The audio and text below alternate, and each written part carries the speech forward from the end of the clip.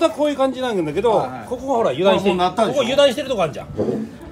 はいはい。はい。どっちかパッチリ閉まってても、ここ開いてるから、はここからもうこれよりこういうホタテも切ったはいはいら、はいはいはい。それでもうガガッガガガガガッと下だけやってやっぱあパカってなるから。で貝柱だけ取りたい時は下取らないでこの状態から周り剥がすと貝柱だけ残んだわ。こう。よで貝柱だけ取れば。あ僕この状態で食べます。うん。簡単だろやってくれと。いやいやもうこれが食べたいです。食わなくていいよお前。すげえな。簡単